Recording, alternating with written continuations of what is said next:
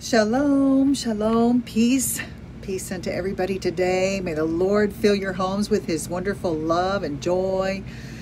And uh, well, we're here to get together together tonight uh, once again, as always, giving Jesus, our Lord and Savior, all the honor and glory and thanksgiving for the sacrifice that He has done for us in our place. He died on the cross. Hi, Barbara and took our place. So we are honoring him tonight and every night. Amen.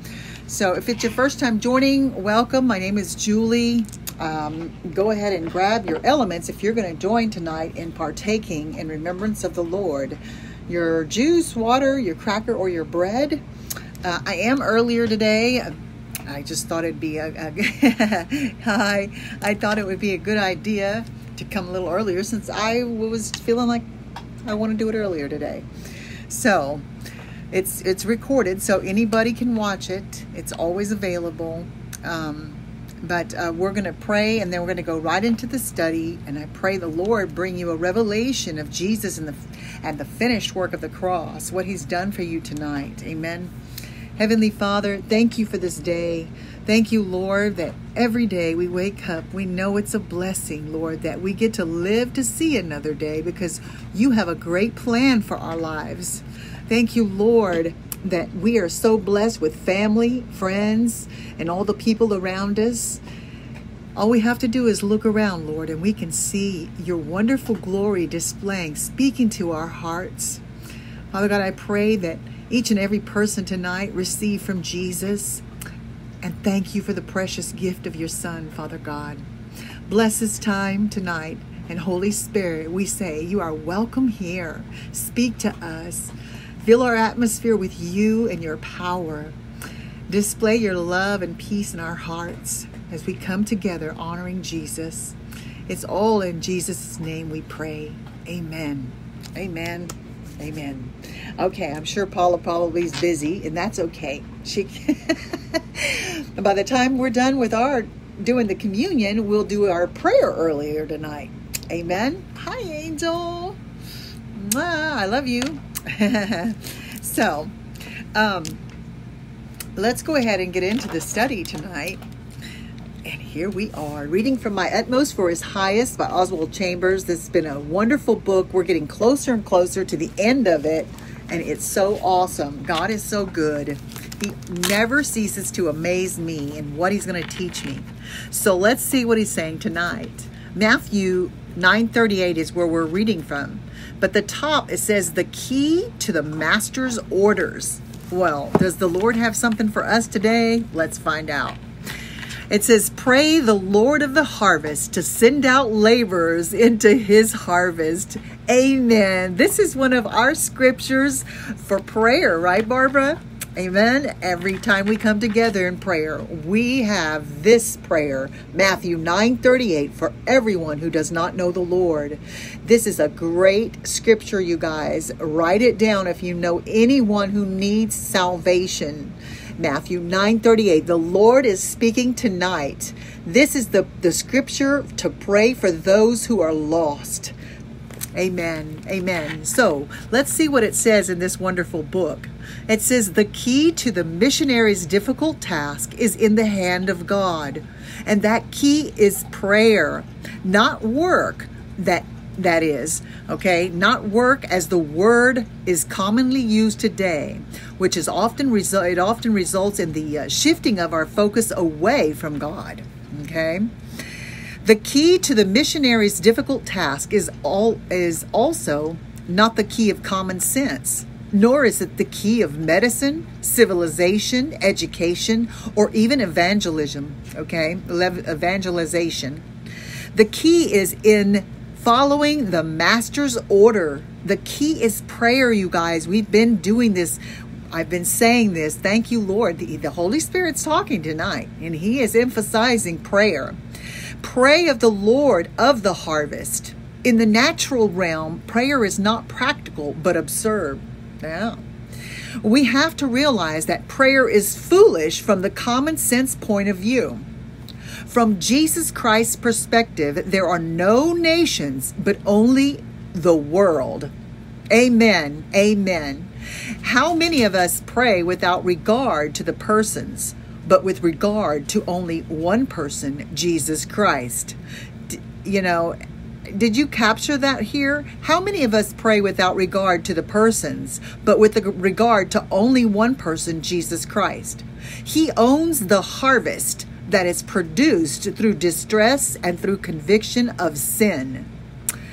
Ooh, this is the harvest for which we have to pray that laborers be sent out to reap. We stay busy at work while people all around us are ripe and ready to be harvested. We do not reap even one of them, but simply waste our Lord's time in, in over uh, energized activities and programs. Did you hear that? we don't reap one of them, but simply waste our Lord's time in over energized activities and programs. Suppose suppose a crisis were to come into your father's or your brother's life.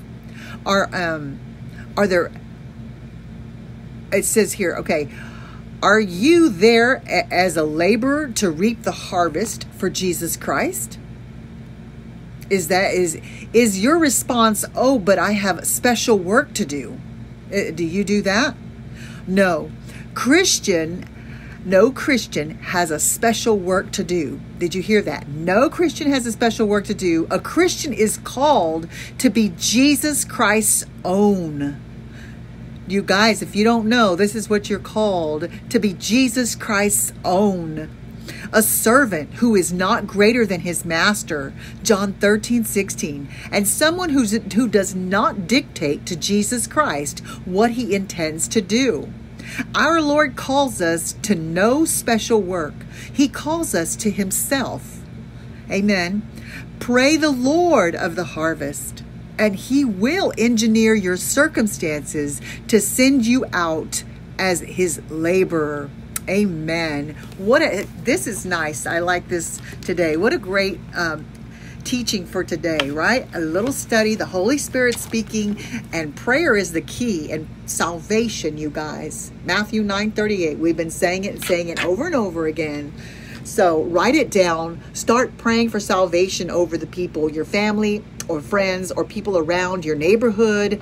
Let's pray for the nation and the world. Amen. For Israel, for the Jewish people. Many of them don't know salvation, and they are the very first ones that God created. Oh boy. All right. Thank you, Holy Spirit. Amen. All right, so here we go. We're going to have our love letter right now. Let's see how the Lord is going to love on us. I love this book. It's always a joy, and the presence of the Lord always comes and just fills my heart up when I read this book. And he says here, My child, be real with me. You are precious and beautiful to me. You never need to pretend to be something other than who I made you to be. I don't want you to try to impress me by pretending that all is perfect in your life, my child. I want you to find great freedom in being real with me.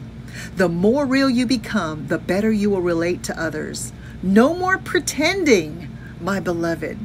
I love you just the way you are, and I want you to be real with me in all that you do and say.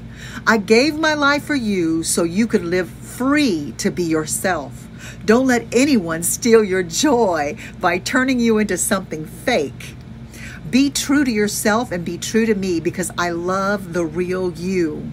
Love your true king. Amen. Second Corinthians 3 17 is the scripture. Now, the Lord is the Spirit, and where the Spirit of the Lord is, there is freedom. Amen. Hallelujah. You guys are looking for freedom in this world. Well, I want to tell you there is no freedom. Jesus Christ is the only freedom. Amen. And we see that here tonight. He's expressing that. Yes, he is. Amen. Amen. I'm sorry. I love it. I love it. Thank you, Lord. Uh, so, right now, if you're just joining, I want to ask you to hit the like, hit the share button, share Jesus Christ, the gospel, the salvation. He came to die for you and give you the eternal life and salvation. There's no other person that could do this for you. So, I'm just honored that the Lord chose me to do this Amen. Hi, Paula. I've got my hair keeps just making me itch over here. Um, okay, so I am very honored because God has chose me to chosen me to do this, and I just I know that He works in me and He's doing something great. No matter even if I make a mistake, He's there to lift me back up and put me back on the right path. And I'm so grateful. and He's there for you too. But you guys, I'm going to read some scriptures. If you're just joining, grab your elements. We're about to take the communion. So, amen, amen. Let's go right into the scriptures. In Psalms 91, 9 through 11, it says here, Because thou hast made the Lord, which is my refuge, even the Most High, thy habitation, there shall no evil befall thee, neither shall any plague come near thy dwelling. Oh, praise the Lord. Thank you, Lord. I love Psalms 91. He says, For he shall give his angels charge over thee to keep thee in all thy ways. Keep the Lord near to you because this is where we have the freedom. Right here, you make him your refuge and he is the most high. Amen. In your life, your habitation, he's the secret place. Amen. No evil can befall you and plagues cannot come near wherever you go. I love that part of the scripture. So, no matter what's going on right now in this world, take God's word and put that in your heart and just hold on to it every time they start to say something about COVID. I'm going to tell you right now Jesus is the name above all names. He's above COVID, and He is your protector and your Savior. Amen. Rely and trust on Jesus everywhere you go. You're protected. Amen. All right. Amen. Thank you, Lord. And I have my handwritten word of, of of God here, which it says, The Lord is our righteousness. Jehovah Tsidkenu. This is another name of our Lord. Our righteousness. That's what it means. Jehovah Tsidkenu. Amen. Then we have Hebrews 6 11 through 12. And we desire that every one of you do show the same diligence to the full assurance of hope unto the end, that ye be not slothful, but followers of them who through faith and patience inherit the promises. Oh, I like the scripture. Thank you, Lord. And we want all of the promises. Amen. okay, Psalms 29 11 says, The Lord gives strength to his people. The Lord blesses his people with peace. That's right. Do you need peace tonight and strength? Amen. Well, it comes from the Lord. This is a different kind of peace. I don't even think this world is, has a peace. To me, this world doesn't have anything to offer me. It's only Jesus that has saved me. That's it. Praise the Lord. Jeremiah 17 7 says, Blessed are those who trust in the Lord and have made the Lord their hope and confidence. Amen. Amen that goes well, amen, with what I just said. The Holy Spirit always knows how to move, and He knows just what's in store before I do because I don't plan these scriptures or what I'm reading. I just go by the day, and God, the Holy Spirit, blesses us. Amen. Acts 10:43 says everyone who believes in him receives forgiveness of sins through his name. That's right. It must be through the name of Jesus Christ. Yeshua HaMashiach, Yahweh. Amen. Thank you, Lord, for those who believe. That's right. They will receive forgiveness. Now also Galatians 2:20 I have been crucified with Christ. It is no longer I who live, but Christ lives in me. That's right. When you receive salvation, oh, it's Christ who lives in you. There's everything we have in us is dead. We don't come alive until we receive that hope of glory. Amen. Thank you, Lord. Heavenly, Heavenly Spirit, Lord Jesus, hallelujah. Thank you, God, for Jesus, for the Word of God. Thank you for your scriptures, Lord. Thank you that you love us and you just shed new light on our hearts every day. Father God, we ask you to just take these scriptures, and engrave them in our hearts, that we would be a beaming light shining to this world that we could speak life into them because your word is truth and life. Father God, Thank you that you continue to work on each and every one of us, that you're blessing our time as we come together, honoring Jesus, the finished work of the cross, remembering what he's done for us in our place. We give you all praise and thanks and honor. It's in Jesus' name we pray. Amen. Amen. Amen. Okay. So now what we're going to do is we are going to take the communion. Now, the bread or the cracker that you have represents the Lord's body. Jesus subjected his body to be beaten, to be bruised, battered, and he received many lashes that tore his skin off of his body. That's right. He, his skin was ripped off his body. That he did this so that you can receive health, his health, his restoration, the healing. It's everything that he is, he gives to us. And he received everything that we have, which is sickness, diseases, all these things. He conquered them for us there on the cross and with the beatings, the lashes. And we can take glory tonight when we hold up the bread. This is how you discern his body. Jesus' body was broken so you can be restored unto health and newness of life. He makes all things new. Praise God. Then the uh, the drink here that we're taking, the water or juice, represents his blood. Jesus' blood is sinless blood. It is not tainted. It is pure. This is the, the most beautiful sacrifice of love and display. He loved us so much that he did this for us. And it's a beautiful thing. It's a lovely thing. It's a lovely thing. Um, he did this to, to remove our sins, every sin that you'd ever commit or do, every fault, every failure in your lifetime. It's covered by His blood. Amen. If you don't know this wonderful Savior, I want to share with you tonight. Receive salvation. You can message me, we can pray together, and you can receive Jesus as your personal Lord and Savior. Okay? So let's get into this together and partake in remembrance of what the Lord Jesus has done for us.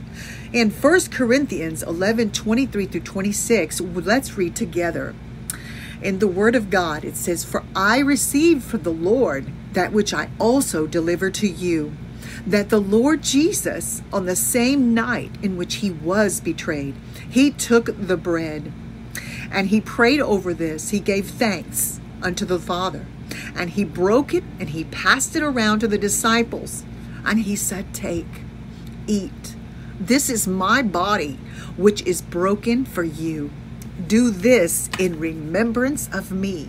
And that's exactly what we're doing, what he's telling us to do in remembrance what Jesus did for us tonight. So hold that bread up and see Jesus there at the whipping post. He took lash after lash for you and me so that we could be made whole be made new, restored into the newness of life. By his wounds, we are healed. Receive that tonight. Lay whatever it is at his feet that you have, that you're carrying. Lay it at the feet of Jesus and do the divine exchange right now. Father, we thank you, Jesus. Amen, for your broken body. We thank you for bearing our symptoms and sicknesses at the cross so that we may have your health and wholeness. Amen. We declare that by your stripes, by the beatings that you bore, and by the lashes that fell on your back, we are completely healed. We believe and we receive your resurrection life in our bodies today. So let us eat his flesh together.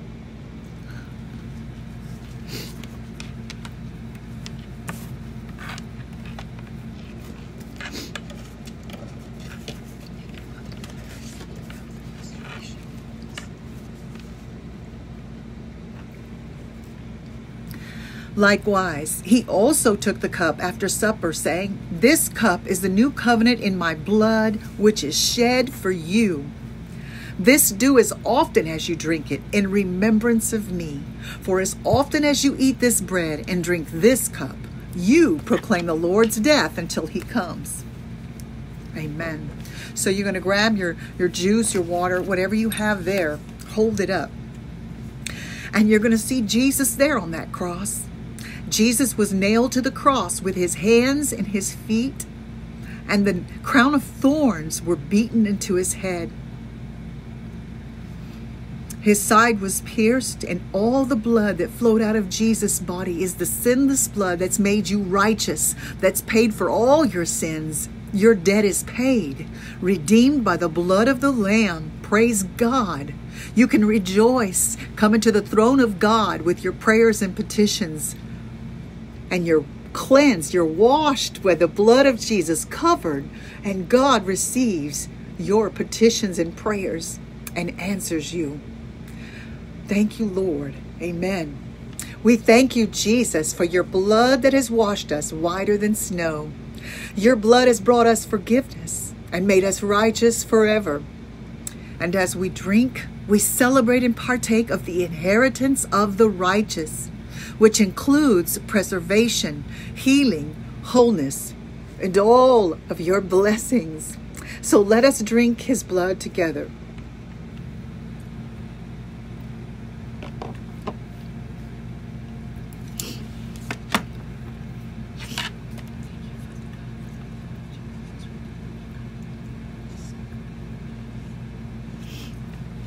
Thank you, Father God. Thank you for Jesus. Amen. I am the righteousness of God in Christ Jesus. That's my identity. That's who I am. It's no longer me who lives, it's Christ who lives in me.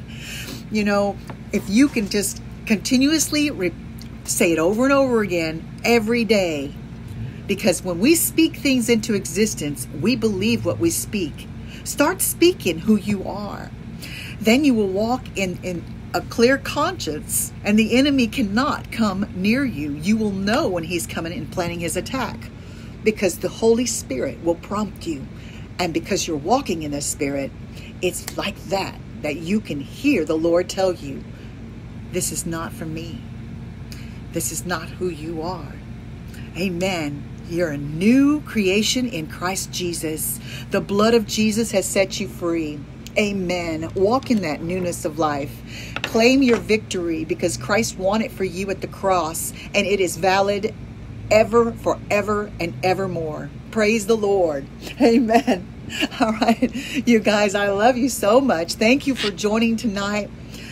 I'm here every night, usually between six. I came a little earlier, six and nine. I came earlier, but that's okay. It is recorded. You guys, I love you. Thank you for joining me tonight and giving Jesus honor. It's all to Him we owe. We can never be thankful enough. I'm going to pray and close out. We're going to do our prayer uh, warriors. So if you guys need prayer, you need anything, message me. Let's let's do it together. Let's pray for the nation, the world. Amen. As in earlier, the Holy Spirit speaking, Matthew 9 38. Heavenly Father, thank you, Lord. Thank you for the wonderful uh, gift of Jesus. Thank you, Father, that you chose us and you wanted us. We're, we're so delighted in that, Lord, that you love us so much. Father God, bless each and every person who's gathered here tonight, Lord, that's honoring Jesus and being obedient unto you, Lord, looking and hoping and expecting and putting all their trust in you. I pray, Lord, you lift the, the burden off their hearts and Holy Spirit, you would move in their into their homes and that you would speak to them about whatever situation that's going on tonight, Lord, whatever's weighing heavy on their hearts. I just pray that you bless them, move through them, and Father, give them a revelation of Jesus and the finished work. There's always something new we learn about Jesus, and it's beautiful. We thank you, Lord, for the life you've given us. It's all in Jesus' name I pray. Amen. Amen, you guys. Be a light. Uh, sprinkle the salt out there. oh boy, and spread the gospel. Jesus is coming. He's coming. He's coming. He's coming. Praise God, He's coming. I cannot wait. Keep looking up. Your redemption's draws near. Let's spread the gospel, you guys. I love you. Good night.